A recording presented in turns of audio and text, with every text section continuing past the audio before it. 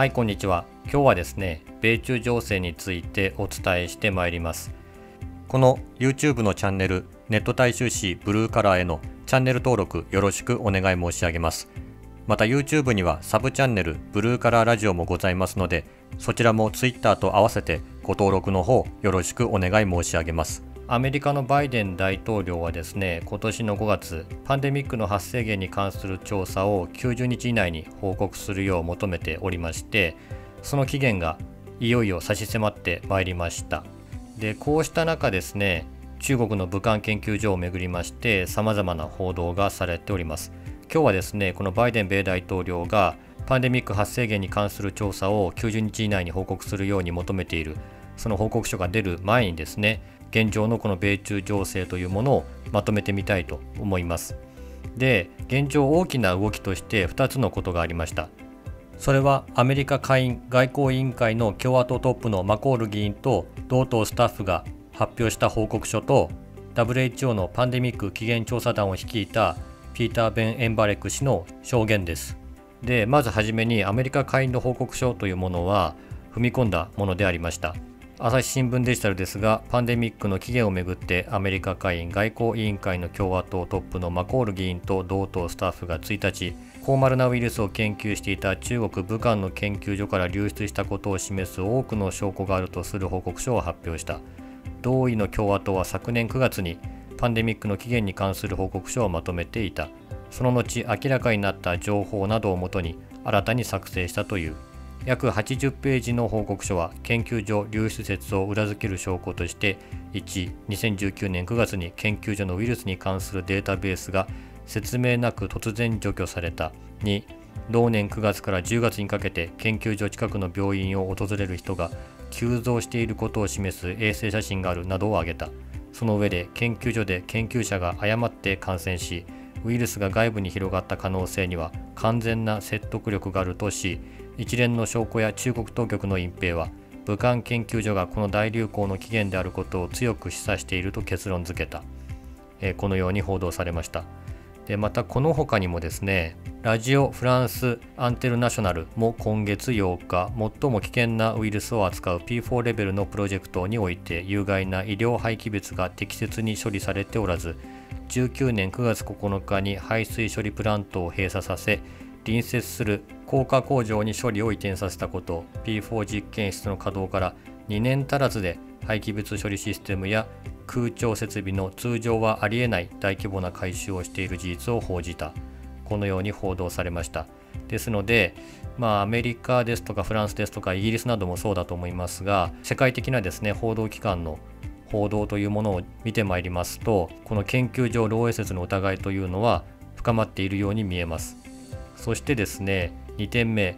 WHO の共同調査メンバーのピーター・ベン・エンバレク博士の証言というものに今注目が集まっています。世界保健機関 WHO 共同調査団のメンバーとしてパンデミックの起源調査に関わったピーター・ベン・エンバレク博士は8月にデンマークの地上波テレビ局で放送されたドキュメンタリー番組ウイルスミステリーに出演した。エンバレク博士は番組の中で中国の研究チームがパンデミックの起源と武漢研究所を関連付ける内容を盛り込むことに反対していたと語った。さらに同じく WHO 共同調査団のメンバーとして発生源調査を行い研究所流出説を何度も否定してきた。動物学者のピーター・ダザック博士が6月21日に国際医学誌ランセットの COVID-19 委員会メンバーから解任された、まあ、このような報道がされております。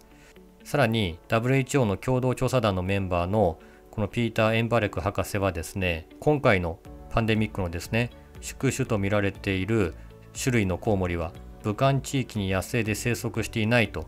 したことを述べています。ですのでこうした WHO 共同調査団メンバーの証言ですとか米会委員会報告書などを見てまいりますと研究所漏洩説疑惑といったことがますます深まっているというふうに見えます。でこうしたですねアメリカや世界の動きに対しまして中国政府は現状激しく反発しています。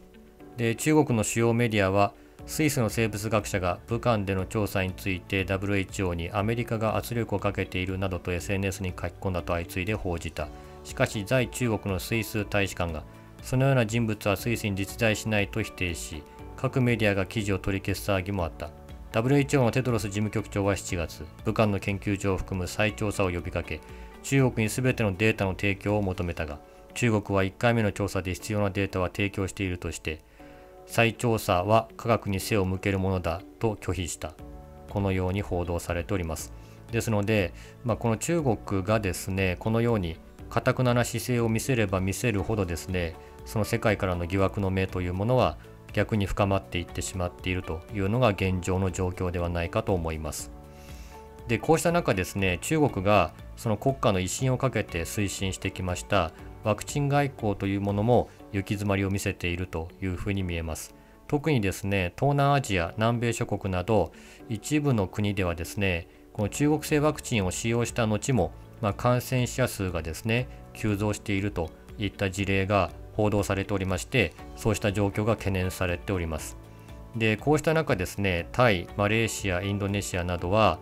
まあ、急遽ですね中国製ワクチンを接種してですね、まあ、完了した医療従事者に追加接種を決めるなどしてですねその高い効果が確認されている欧米製ワクチンを、まあ、追加接種をするということを実施しております。でこの欧米を中心とする先進国のこのワクチンのですね供給拡大ということもこの中国のワクチン外交に